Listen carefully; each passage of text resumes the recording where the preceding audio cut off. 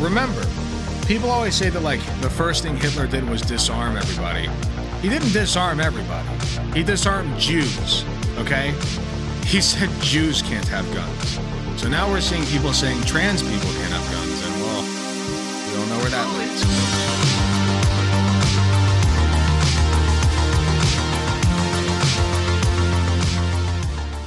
Breaking news that nobody will care about.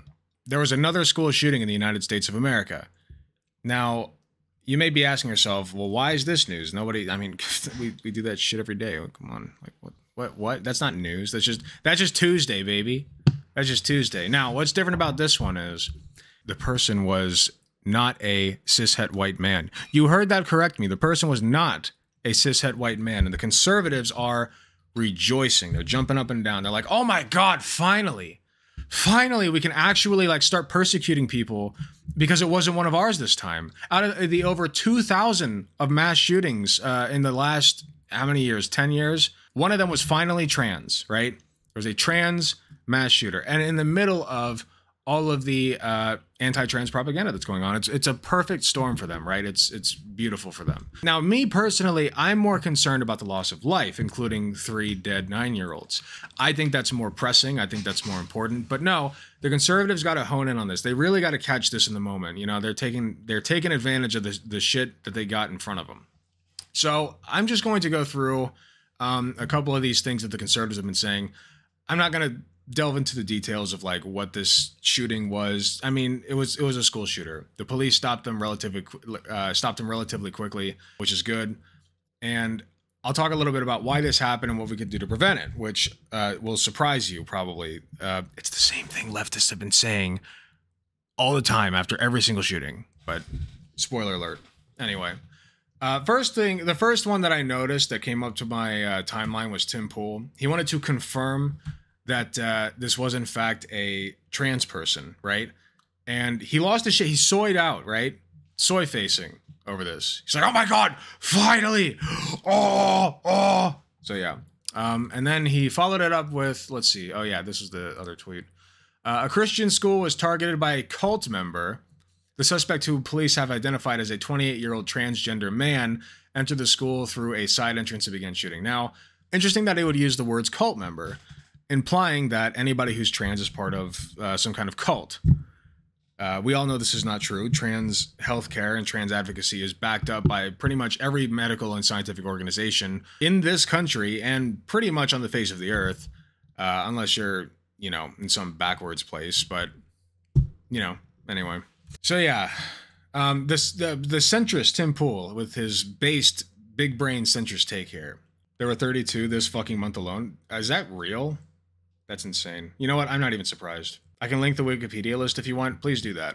So yeah, Tim Pool's having a normal one, as is Matt Walsh. We all know and love Matt Walsh. Uh, I came to the conclusion years ago that the trans movement is the greatest evil our country faces. I only become more and more sure of this fact with each passing day and more and more determined to oppose it until my last breath. So yeah, as I said, there have been like three trans shooters in like the past 10 years. Here, let me, here, what's this? List of mass shootings. Let's take a look.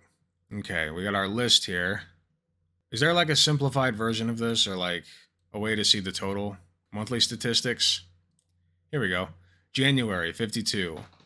Uh, total number dead 87. Total number wounded 205. February 43. Total number dead 54. Total number wounded 160. Occurred at a school or university 2 in February alone. In February alone, two school shootings. Crazy. And neither of those people were trans. Yeah, just, you know, just incredibly interesting. Just normal stuff. Currently, the mass shooter score is trans people, one right wing extremists. Uh, it keeps going. yeah. I mean, tomorrow there will probably be another one. You know, it's just it's just normal at this point. Uh, so yeah, uh, Steven Crowder then says the trans activist targeted a Christian school. That sounds like a hate crime to me. As we all know, uh, Christians are becoming a quickly becoming a minority in the country. I believe it's at what 70% people are Christian now. Very much going downhill quickly.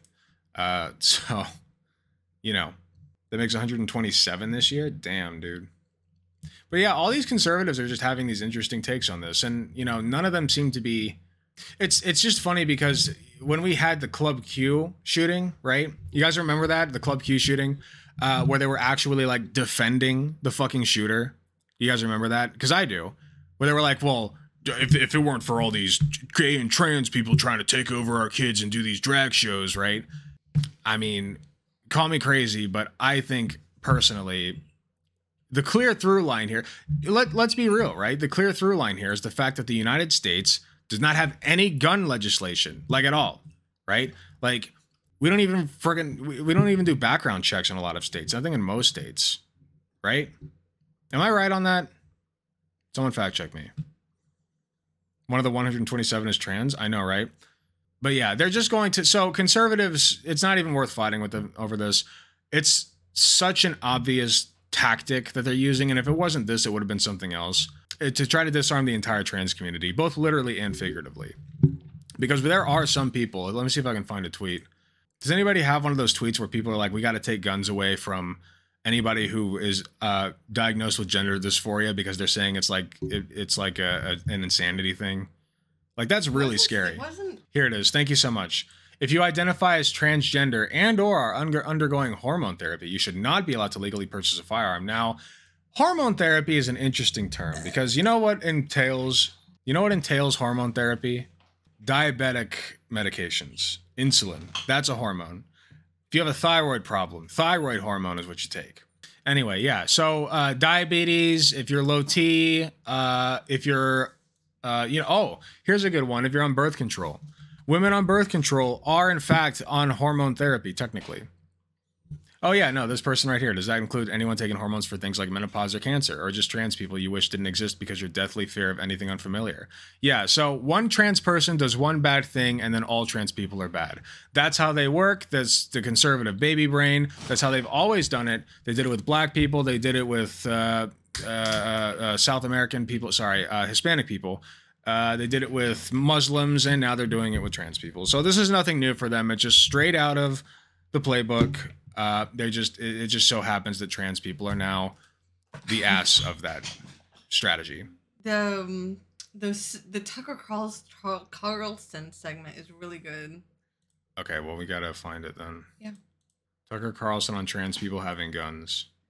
Here, let's just let's just see what they got here. Look, just to be clear, we're not against people, American citizens, carrying firearms, having firearms. We support it, including trans people. It's fine.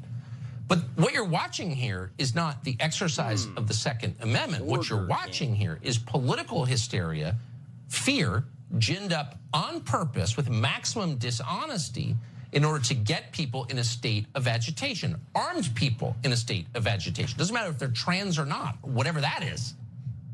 It's the same template always. Scare the crap out of your voters tell them that their lives are at risk, encourage them to get guns, how do you think that ends? I mean, don't they always do that? like all this the fucking three time. Days before that shooting, by the way. Hmm. I smell a conspiracy. No, not really. He's so gross. Yeah, no. Like, yeah, that's literally what they do.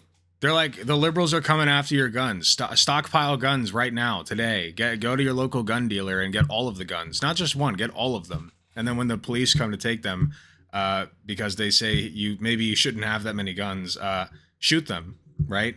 Literally is is what their message is. So, you know, that's just very interesting to me. Um, I mean, what happened, right? What happened to shall not be infringed? Let me ask you. What happened to shall not be infringed? I just thought that we were all on the same page here with the conservatives. You know what I mean? This is their Hail Mary. They are biting their nails every day for stuff like this to happen. I know, like, they're just like edging constantly for something like this to happen so that they can call in the troops and just like start stripping uh, trans people of all of their fucking guns and rights and shit. You know, remember, people always say that like the first thing Hitler did was disarm everybody. He didn't disarm everybody, he disarmed Jews, okay? He said Jews can't have guns. So now we're seeing people saying trans people can't have guns, and well, we all know where that oh, leads. So, real quick, I want to talk a little bit about the shooter himself and the conditions which led to this, because this shooting did not happen for nothing, right?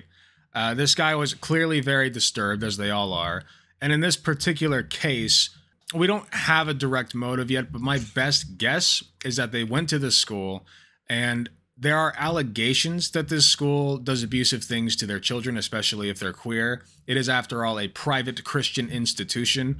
So my best guess is that this uh, not mentally well person, whose parents was were misgendering him, by the way, uh, decided to take it upon himself and get some revenge on people who did nothing to him uh, because he looked at the institution as the place that screwed him up, right?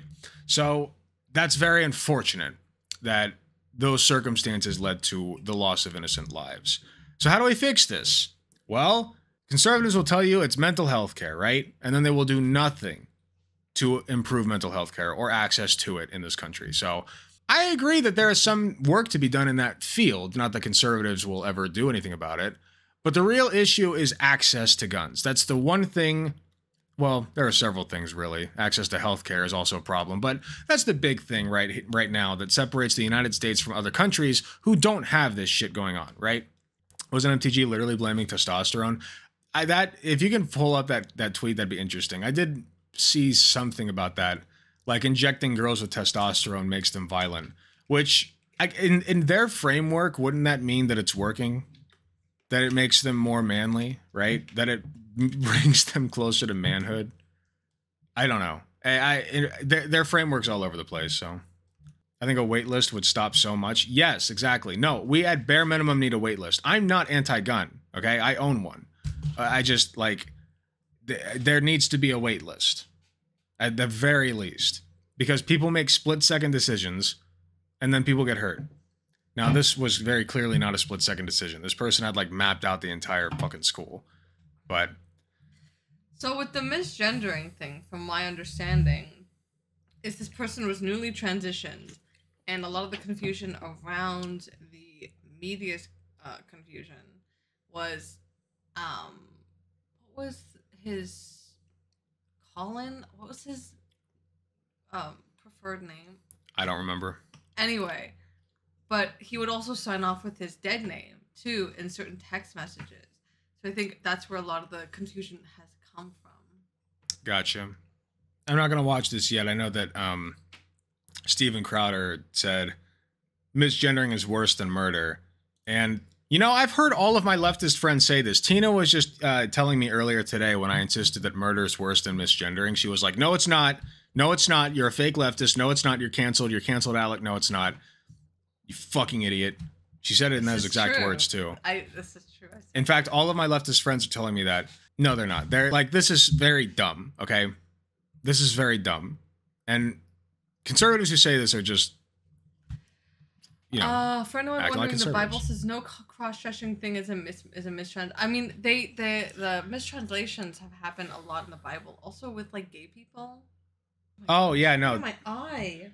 What's that's very interesting actually. The Bible, uh, back in the day, said don't be a pedophile, But there was and some forehead decided, you know what? I don't like that. We're gonna change that to don't be gay. read the rest of the I comment. I can't imagine. I can't imagine why they would have done that, especially considering what happened in the Catholic Church. You know I don't frequently. get it, Lex. Choke. what? I'm glad you're having fun. I lean more towards needing license like Canada. You need a license for that uh, we meta dildo. we just banned fucking guns like last year, or not all guns. We we banned Toronto ban gun ban. I don't. I'm not like firmly in favor of a gun ban, but no, it wasn't okay. Okay, if, uh, to be more specific, I don't know the specifics of it. I don't think it was an all-around gun ban. just Google it, sweaty. Yeah, Anyway, um, I know he does. Anyway, I want to I want to go over what at least one uh, trans activist is saying, uh, because what they're trying to the the the story that they're trying to sell you right now is that trans activists are supporting this shooter, which is not the case at all. There may have been like one person who was already nuked off of Twitter doing that. Okay, and I don't even think they were that popular. So all of the leftists that I've seen so far are condemning this shooter. They're mourning the loss of innocent life, and Eli Erlick is one of them. They're just trying to get to the bottom of why this happened. She says, as we learn more, it's clear that the Nashville Covenant School is a right wing institution in which Audrey Hale and many others were abused. Obviously, this isn't an excuse to attack it, but there are problems with deregulating religious schools, the US's lack of mental health care. So, um, apparently, there was some stuff happening at this uh, prestigious institution. Church accused of covering for molester. Well, there you go. In Nashville. Who would have guessed that would happen in Nashville, Tennessee, of all places? Historia Ministries has a long article on how the church abused numerous students and then severely harassed the church leader for reporting them. The church even claimed he was a potential shooter. All of this happened while Audrey Hale attended the school. Well, there you go. I mean, you know, it's interesting that uh, the abuse of children would lead them to them doing stuff like this. But yeah, like I was saying, there's really not a whole lot to say about this. It's the same song and dance that we always do. Just the, the deferring factor in this case happens to be that the person is trans. And I am hoping that uh, we will not see very heavy uh, anti trans legislation come out as a result of this, although it has been kind of, as we'll talk about in another segment, it's been it's been kind of coming out anyway. So it's like I don't know. It's just another day in America, folks. That's all it is.